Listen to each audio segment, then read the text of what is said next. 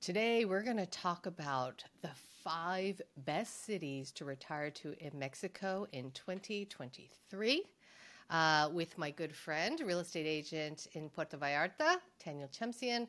Taniel, how you doing? Hi, Risa. I'm doing great. I, I live in a beach town resort in Mexico. Where are you? I am not in a beach town resort in Mexico, as you can tell by my sweater. Um, but but all aside, I mean, this is the time of year that I start to think about Mexico a lot because it's so nice. It's such a great, great time to be there. Um, and that's why I think, you know, I'm not the only one. There's millions of people who flock down there every winter, right? Yeah, absolutely. It's a re- there's a reason why they call it the high season. Yes. And we're in the middle of it right now. So there are a lot of people in town. The airport is packed. There are a lot of cruise ships that have been coming and going. So, yeah, Mexico is on everyone's mind. No, it's awesome. Well, we wanted to put this list together because this is what people always want to know, right? People are interested in Mexico, but then it's like, where? Where in Mexico? Um, so we picked out these cities because, you know, they have um, an affordable cost of living, they have um, fairly easy access to an airport, they are very expat friendly. Um, they have access to healthcare and the like. So it's a lot of the elements that those of us who are foreigners are looking for when looking for a safe place to live in Mexico and kind of um, hang our hat, right?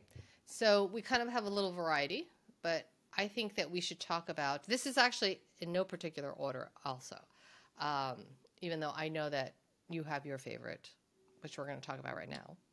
I might Um, one. but number one,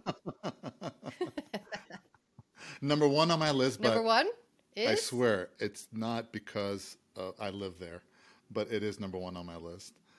because you live. Well, none other than Puerto Vallarta, right? PV has definitely, hands down, become extremely popular amongst foreigners and expats. Um, and I think there's a lot of good reasons why, right? I mean, number one is weather, Yes. for sure. And the weather in PV is, The is we have the most uh, sunshine year round. We're on the 105th meridian. Uh, so if you look that up, you can see that that, that gets the most uh, sun year round. Temperatures, you know, and during the winter months, also they call it the high season here. Uh, in the upper 70s, lower 80s. Uh, we really don't have that much humidity uh, during this season. A little bit, but not it's not too heavy. And then summertime, of course, it warms up. With the humidity, it could be in the 90s and sometimes even uh, triple digits. And we're on the Pacific side. Uh, we're in the Banderas Bay, which is one of the largest natural deep bays in the world. And we have the beautiful, majestic Sierra Madre Mountains to the east. Of course, the ocean to the west, where the sun sets. We have some of the most spectacular sunsets you've ever seen in Puerto Vallarta. And it's, it's one of the friendliest places uh, in the world. Yeah, for sure. And the healthcare is great, great dentists, great veterinary care. You have access to big box stores like Costco and Walmart, which is really nice. It's it's a really nice sized city though too, right? It's not too big, it's not too sprawling. You can get from one end to the other, you know, in what, 15 minutes. Yeah. Um, yeah, so I just feel like it's really comfortable and it's very safe, right? So Yeah. there's a lot of, and it's also very popular amongst the LGBTQ community as well. Um, so Mm-hmm. I feel like there's a really great mix of people there. There is, and you know, you, you have a wonderful mix also of uh, people that are still working. We have a lot of young people that have uh, left the left the states and Canada that are here opening up businesses or putting their kids in bilingual schools. Um, the cost of living here is significantly less than you know some of the big counterpart cities in the United States and Canada. Uh, and another nice thing is, you know, from PV going back to the states or Canada to some of the, the major cities, it's mostly a direct flight, which is a big plus. You know, some cities you have a connection flight, but within two and a half to maybe four hours, you're you're back home. So that makes it really convenient if you ever if if you ever have to go back. Yeah. I find that PV tends to be very popular amongst people who are like west of the Rockies, right? um, because it's such a short flight. Those of us who are on the East Coast, yes, of course, we also go to PV. Um, but I think you just tend to see a lot more East Coasters going to more like the Cancun, Playa del Carmen area, more more on the Yucatan side. Um, yes, but, but which brings me to number two, which we can talk about, which is Playa del Carmen. Um, Playa del Carmen, like I just mentioned, is on the east coast of Mexico. Um, I was just there a few months ago, and it has a completely different vibe, I would say, from PV, even though Oh, totally. they have very similar things, right? Wouldn't Yeah. you say? Yeah, I mean they're I don't want to say they're they're polar opposites, but they do have similarities. Uh, But for example, you know, um, in in Playa del Carmen, you don't have high rises, right? Because you have all the cenotes. And if uh, have you, have you have you ever gotten into a cenote? Lisa? cenotes are amazing. For those of so those listeners who don't know what a cenote is, they're like sinkholes. They're natural sinkholes um, that are all over the Yucatan, and Yes. basically they're just like beautiful sw- natural swimming pools underneath rock. they're right? incredible. It's underneath limestone, I believe. Uh, Yeah. and the, uh, yes, the limestone. Do you see all the stalactites and stalagmites. It's it's like you're in the movie. You know, it's really really cool. But you know, that's one of the reasons why they don't have any high rises there. So typically in Playa del Carmen, have four or five story buildings. So and it's and it's and it's flats. Whereas the sun rises, right, from the east. So they get the sunrise over the ocean, and in, in Vallarta, it's setting over the Pacific, over the horizon. So. Uh, but they both get you know tropical rains. I've I've been in Playa del Carmen when it's when it's been raining nonstop, but it's it's a beautiful place, and I love Fifth Avenue. I mean, gosh, anything and everything, right, Risa? Yeah, yeah. So Fifth Avenue is 90 blocks now. It used to Wow. be only a few, like maybe 10, 20 blocks, um, but it's grown because the city has grown in popularity so much. So it's so amazing. So yeah, so it's it's very touristy. If you don't, if you're not into the touristy scene, you don't live near Fifth Avenue because it can get quite loud with some of the outdoor restaurants and the clubs and that sort of thing.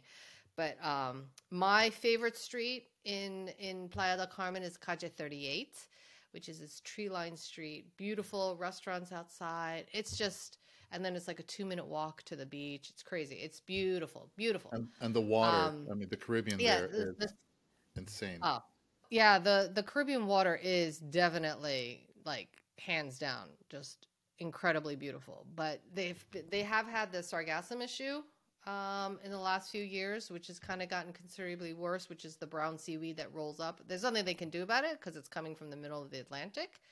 Um, and they, but they do do a pretty good job of like raking it away every morning because they know that it affects the tourism.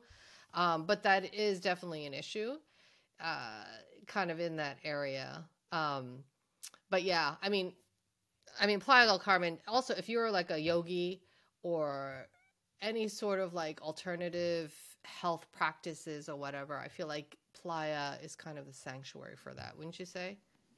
Yeah, I mean, I don't want to say the word hippie, but you know, it's kind of got this, yeah, like you said, like an alternative, a little bit more free spirit, open minded, you know, healing and energy. It's it's really a cool place. If if you know, I, I encourage people to go there at least once and, and give it a try. It's it's it's one of the ni- best places. I think one of my favorite places in Mexico. there's a reason why a lot of expats like that area, right? Because you have it's very accessible. You fly right into Cancun. It's 45 minutes south of Cancun. You know the cost of living is reasonable. Um, I would say that you know in a lot of the towns that we're talking about, the real estate has gone up considerably, where it might be equivalent to some small towns in the U.S. or Canada, but um, the actual cost of living, the day-to-day cost of living, is where you really um, gain the savings. I would th- I would say. Would would you agree? Yes, yeah, absolutely. I mean, just going to the grocery store, utility bills, uh, medical expenses is, is, is significantly lower uh, in Mexico, through my experience, than than the states. And also, you know, you're living by the water, so you, you might be paying similar costs for a home, you know, somewhere in the middle of the United States, but you're by the water. I mean, Puerto Vallarta or, or Playa del Carmen or, or Cabo. Is that on your list? Risa? Cabo is on the list, of course. so yeah, so let's go to number three, Cabo San Lucas, um, which is located in the Baja Peninsula. And really, I was there a couple of years ago. I feel like Cabo is in terms of adjustment, you know, it's a really easy adjustment. Um, it feels like Southern California for some reason, the vibe, and I think so, there's a lot of newer architecture. Um, I think it's actually named one of the safest cities um, in Mexico, and that is because also a lot of wealthy people uh, live in the Cabo area, so they've actually dumped a lot of money into the infrastructure. Um, so you, it's actually there's Cabo San Lucas and then there's San Jose, and then it's there's uh, a corridor, essentially a big highway that connects the two. And so either people live in Cabo San Lucas or they live in San Jose. San Jose tends to be a lot quieter.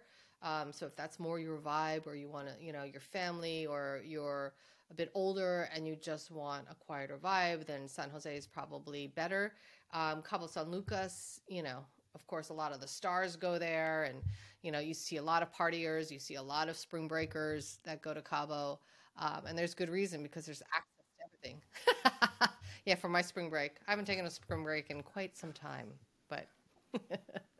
well, what, what, yeah. are, what, are, some of the things I mean, you like about Cabo? I, you know, the food is amazing, amazing. I mean, I got to say that to be honest, the food in Mexico, hands down, just period, everywhere. PV, Cabo, Playa. Like, it's really hard to have a bad meal, to be honest.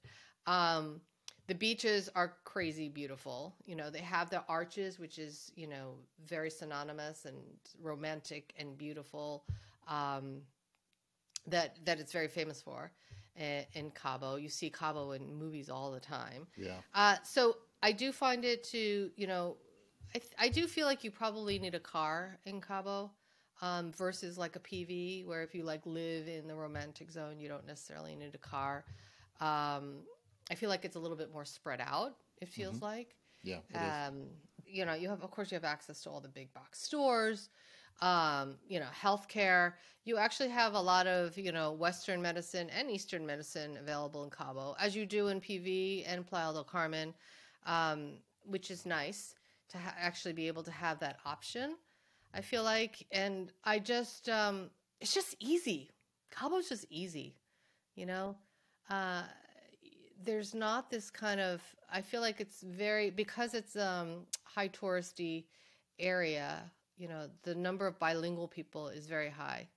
Uh, but same with PV and um, and Playa. But I feel like with PV, like as soon as you kind of go out of the core, then you know it's easier to kind of be more amongst locals and if that's more your vibe and stuff. Where Cabo, I feel like you have to go out a little bit further to find that. Yeah, in Vallarta, you could be in the tourist areas, but you just walk two blocks over from, let's say, the border, and you're amongst like more of the locals that have that have been there for generations. And and in Cabo, that might not necessarily be the case. Right. Um, I do feel like things can be a little bit more expensive in Cabo, um, but it also depends on where you are, right? Like everywhere. Um, you can buy your dollar tacos in any one of these cities for sure.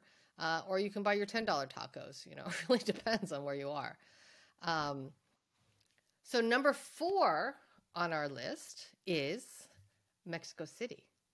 Um, Mexico City, if if you don't care about um, the beach and you want a little bit, you know, cooler weather, you don't want to deal with, you know, just the heat of the summer. Which, to be honest, I mean, PV, Cabo, Playa del Carmen, they all Cancun, all these, you know, on the on the beach sides, on the coastlines, their summers can be pretty intense um, in terms of heat and humidity. But you don't get that in Mexico City, right?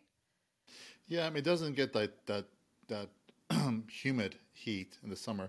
I've been to Mexico City where it's been quite warm uh, in the summertime, but it's been it's more dry, and it I don't ever remember it being like hot like in Vallarta, you know, like in August or September. And Mexico City is just so phenomenal. I mean, forget the weather, but just in terms of culture and history, and I think it's got the second most museums and galleries in the world behind London. Uh, I was just there uh, for um, Easter week, uh, Semana Santa, with a couple of friends of mine from PV. And we went to all these museums. We hired a tour guide, and this man was so knowledgeable about all the art pieces, and you know, by by Frida and Diego Rivera. Um, we went to Anthropology Museum. He took us to all these wonderful restaurants throughout the city. The culinary experience in Mexico City is just hands down one of the most phenomenal places you can be to to enjoy food. Uh, again, from a dollar tacos to let's say hundred dollar dish. I mean, they have it all. They've got a lot of Michelin rated restaurants. So if you're into fine dining, it won't be a problem for you in Mexico City. Uh, and just the history. I mean, you go to downtown, uh, you, you just kind of walk around and you're just kind of, you step back in time, you know, and you see influences from Europe, you know, and some of the old uh, architecture. I mean, it's really a fascinating place to be. It's massive. If you've never been there, uh, I don't think five days is going to cut it. I would say stay at least seven days. Uh, there's a lot of traffic in Mexico City. So it's got the worst traffic in the country. So kind of be patient during the rush hour. Uh, but they do have uh, like a subway system and a lot of great public transportation. So they have Ubers there as well. Um, and the cost of living for apartments, you can find places that are a few hundred bucks, you know, to $1,500, $3,000 a month. Really, whatever your budget calls for, it's available in Mexico City. Yeah, I would definitely um, make sure that, you know, wherever you choose to live, um, you know, you do your homework in terms of whether or not you want to be near expats or whether you want to be near more locals or whatnot. If you speak Spanish, don't speak Spanish, because that's the great thing about Mexico City is that you're going to get a little bit of everything, right? Yeah. So that's the charm. And but if you but being active and like having a lot of things to do, you know, where you just you just need to have like be around other people and and you love that vibe then I think Mexico City would be a really great place um, to retire. And then since it's higher up in elevation, uh, you're just not going to get the same kind of heat that you get, you know, on the coastlines, which is great. Well, you know, the first time I went to Mexico City was in 2006, and I really didn't know much about it. Some friends invited me uh, to go over there and spend uh, like a long weekend. And I was really surprised. There are so many different neighborhoods and you know, I went through like the Lebanese neighborhood, the Jewish neighborhood. Um, you know, everybody thinks in Mexico they're all Catholic, but Mexico City, you go there, it's very diverse in terms of different cultures, um, different nationalities that are there. It's a big business hub. Uh, don't be surprised if you come across, you know, uh, people from Mexico City speaking more than two languages, uh, French and English being the most common but it's it's very very diverse. They have a lot of different neighborhoods, just like Los Angeles. You know, we have Little Tokyo. You know, we have Little Italy. Uh, Mexico City has the same. You know. Yeah. So I feel like if you're one who really loves to be stimulated and intellectually as well as culturally, that yeah, definitely Mexico City should be on your list. Um, and so, which brings us to the last uh, city that we've placed on our top five best cities to retire to in Mexico. And that would be San Miguel de Allende. Um, San Miguel de Allende, my gosh, it's a UNESCO World Heritage Site. There is a reason why people are so attracted to the beauty of San Miguel. My God. And it's higher up in elevation as well. So you do get the cooler temperatures where it could be like in the 30s in the winter um, which is kind of crazy. You never think of Mexico being that cool, but then it yeah, warms up during the day, which is awesome. Yeah, some friends were there about a month and a half ago, and they told me that they had to whip out the sweaters and the jacket at night. It was a bit chilly, um, and they went there just to kind of visit some friends, and it was their first time, and they fell in love. So they extended their trip, and you have a lot of old, old colonial buildings. The the church in the center of town is magnificent. Um, it's it's kind of like stepping back in time. That's one of the beauties about some of these cities is, you know, they just don't build them like that anymore, as they say. And when you kind of can go in there and you just kind of don't think about all the troubles of modern day, what's what's going on out there. You're just kind of like in your own little world. And San Miguel de Allende is is is one of those places where it's really magical. Yeah. I mean, the Centro area has gotten very expensive. Um, but if you just go out a little bit, and again, it's a small city, so it's like you go out 10 minutes and then you're in the suburbs, and there's a lot of gated communities, um, as is Cabo. There's a lot of gated communities in Cabo. And so that's where you see a lot of the foreigners and expats living. Um, I would say that San Miguel is probably, if you're looking for, you know, your American or Canadian amenities and um, like the big box stores and that sort of thing, you have to drive to Querétaro, I think, is the closest city, which is probably about 45 minutes. Um, so it's not that far, but it is still a distance. It's not like, you know, 15 minutes down the road type of thing where you, you know, Playa, Mexico City, uh, Puerto Vallarta, Cabo, those, those cities will have um, those kinds of stores a little bit closer by. But San Miguel de Allende is kind of this gem uh, in the middle of Mexico, and so you do. And even if flying out, um, there's there's a couple of ways you can fly into the city, depending on where you're coming to. But it's not. It does not have its own airport, um, like a PV or a Cabo. Yeah. I had to fly in. I had to fly definitely- into Leon and then uh, drive from there for about forty-five minutes to an hour. Yeah. So León is a, and Querétaro the main um, airports that people fly into in terms of in terms of San Miguel. But everyone I know who's lived there, who lives there, just lives there for a really long time. You know, they just don't move because they just love it so much. Um, and you know, I think I can imagine just being able to to wake up with those colors and just just the serenity and just the amount of the how deep it's seeped in history is is pretty remarkable and pretty special. Um, but yeah, so that's I mean, we wanted to give you a list of diverse cities in Mexico that are really amazing for to retire to. Um, they all are safe. They all have affordable cost of living. Um, they all have great communities to be able to connect with. Um, so that's that's kind of like was our criteria in terms of creating and looking at places to retire to in Mexico. We've all been like hearing about Mexico, I think, for many many years now, um, and so you know, certain cities have been coming up. I think San Miguel de Allende has been coming up for the last um, few years. PV has exploded. Um, I feel like on the map in the last fifteen years. Uh, you know, it's depending on your personality, I feel like there is a fit for you. You just have to figure out which which would be the best fit for you um, according to your lifestyle. So, what would you say in terms of these five cities? What do you think makes them special? Do you have like a just like a one-off little bullet list?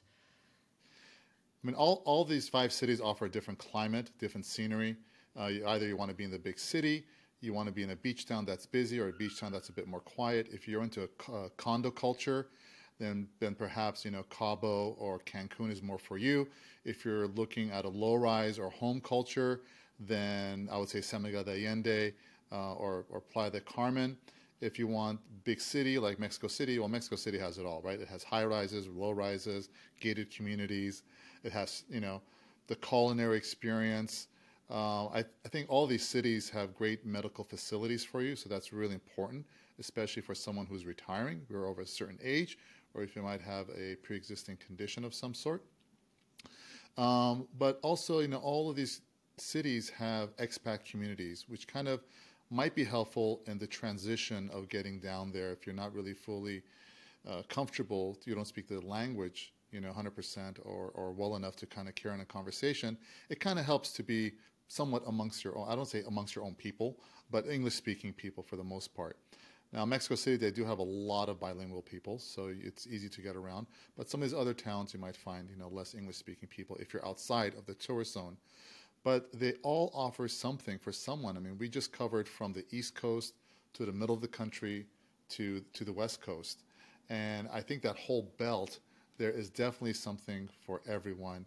Uh, I would just encourage you to pick a city, pack your bag, go on vacation, and see what it's all about. Absolutely. And I feel like if those five cities don't intrigue you or you've been to them and you're like, nah, um, I think we have some runners up. I think you should definitely try to check out Mazatlan, um, which is uh, really coming into its own new re- renaissance in many ways. There's Merida, which I love very much. It's 30 minutes to the beach. Um, Oaxaca very City, um, Oaxaca City. Um, yeah, no, there's a lot of other little nuggets and small places. I know Cancun is a big one um, that was not on our list, but very popular amongst many foreigners, of course, and has been for many, many years. Um, Tulum is growing. Tulum, uh, for me, I feel like is a little bit better as a vacation destination rather than a place to live, but also very beautiful to spend some time in. But yeah, there's tons. There's Lake Chapala, there's Guadalajara, Ajijic. I mean, the list really does go on and on and on. Um, and so there's definitely a lot of places to explore. That's all. Sayulita, um, Bucerias. There's there's tons of places to explore, but start off with these big five first. Check them out. See if you like them. Um, and yeah, and we'd love to hear back from you guys uh, if people have their own favorites or maybe nothing, you know, a different city that we didn't even mention. Um, I think that the more that we kind of share our resources and uh, our thoughts on the topic, the better, right?